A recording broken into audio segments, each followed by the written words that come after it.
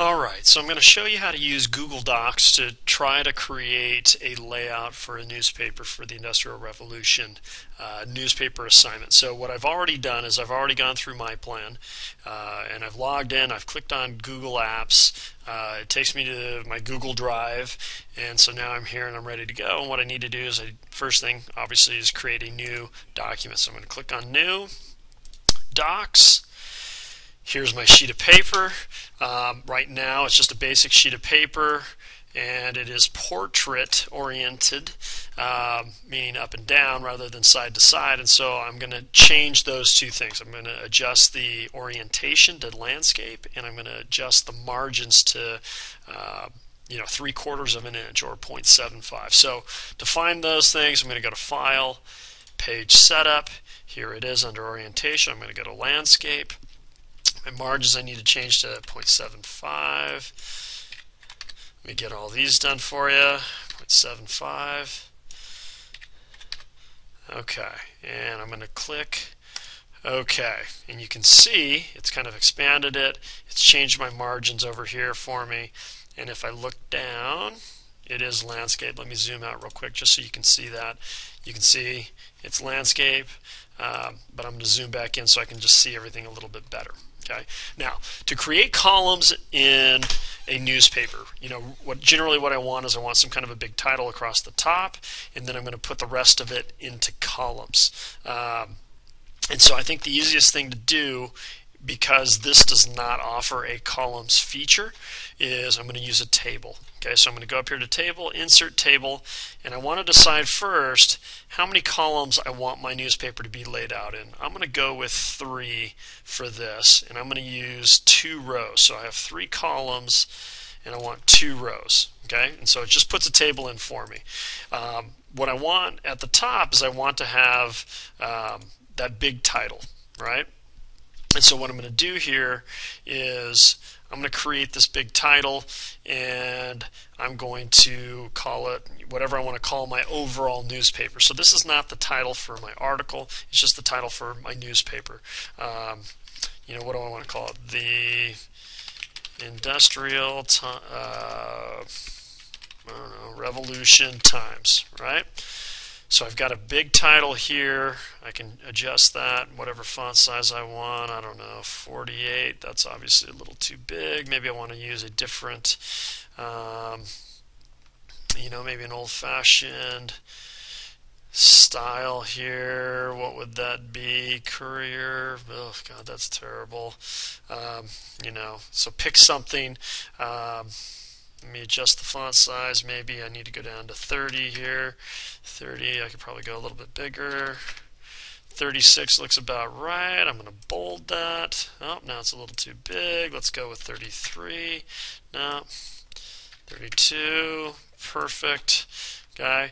Um, I'm going to put some kind of a, let me, you know what, I'm going to underline this thing.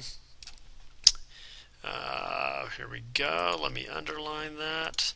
Okay, and there's the Industrial time, Revolution Times. Okay, um, and you know what? Here's going to be what I'm going to use for my uh, my layout for my article. Right. So I've got a table, and what I'm going to do is I'm going to put the title here, and then I'm going to have the rest be in my column. So what I'm going to do is I'm going to just click and drag this down.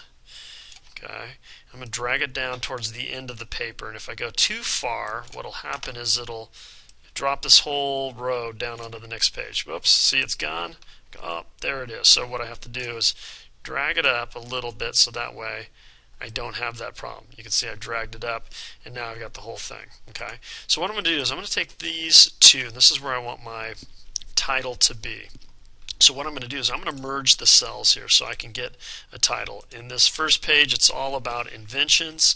Um, you know, um, so what do I want to call this article? Four great inventions. Better capitalize that, right?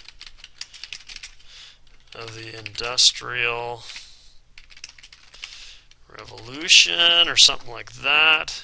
It's a title, so I'm going to make it bigger. Right. Once again, I'm going to play around with that.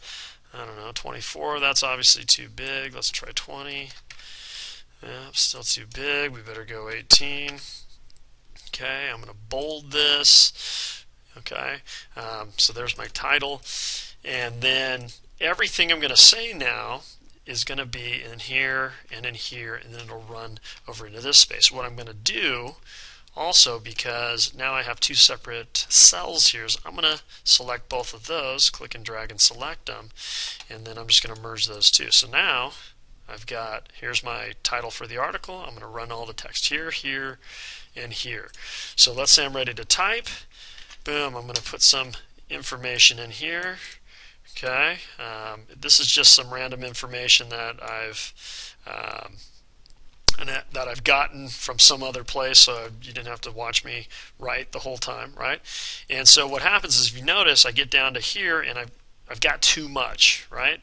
And I don't want it to go on this other side, so I have to move all of this. So I select it all. I'm going to move it up here, okay? And it moves everything back up, right? And so now I've got everything running in that. The other thing is, is normally when you start writing, what you're going to get is it's all going to be left aligned. And notice how it's not even over here. What I like to do is I like to use this justify align option okay? And that aligns it on both sides okay? The other thing just to spice it up a little bit is I'm going to use what they call a drop cap because this should say Twin Peaks. And normally I can get this T to drop down here and be bigger and everything jumps over and it just kind of makes it look a little nicer.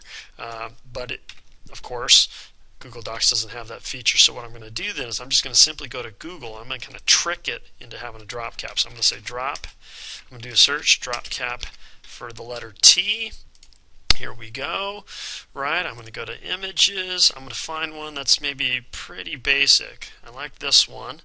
Okay, so I'm going to take this. I'm going to copy it. And what I'm going to do is I'm going to paste it in here. So I just hit paste. Could have right clicked and hit paste right? Um, and it puts it in for me. But the problem is it drops everything and leaves me this big old gap. And that's not what I want. So a couple things. I'm going to reshrink this down, right? I want it to be much, much smaller. Okay.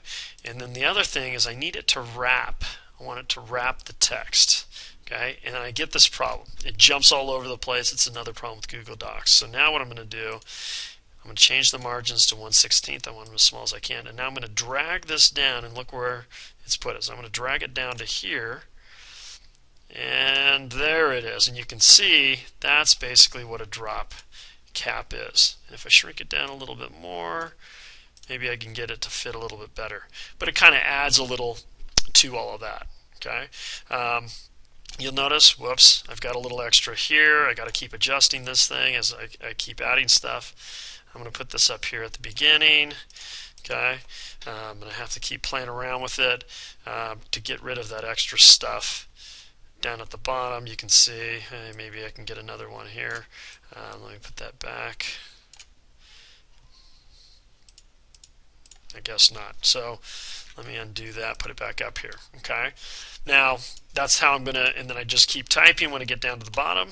I just click up here and start typing up here and keep going. Okay, I could get an image in there the same way I got this in there. Go find an image, stick it in here, readjust it, wrap the text, do all that kind of stuff. Now the last thing that I want though are all of these lines, and so I got to get rid of those. So what I'm going to do is I'm just going to right click somewhere inside this table. I'm going to go to table properties, and I'm going to get rid of my table borders. Okay, um, or I can just simply make my table borders white okay? Or I can just set them to zero. Either way okay but I click OK and they go away right? And if I zoom out a little bit you can see hey this is starting to look like much more like a newspaper okay?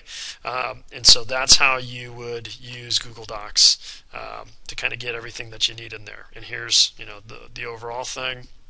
It's pretty basic but that's what Google Docs kind of gives you